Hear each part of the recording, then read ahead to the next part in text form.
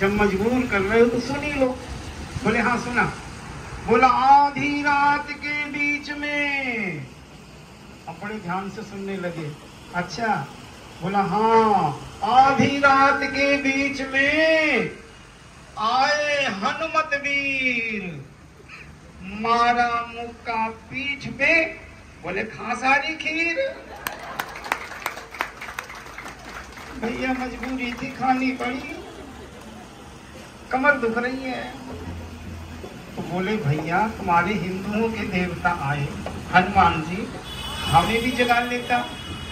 हम भी देख लेते तुम्हारे हिंदुओं के देवता को। बोला, किसको जगाता? एक तो बैठा था मक्का मदीना में जाके।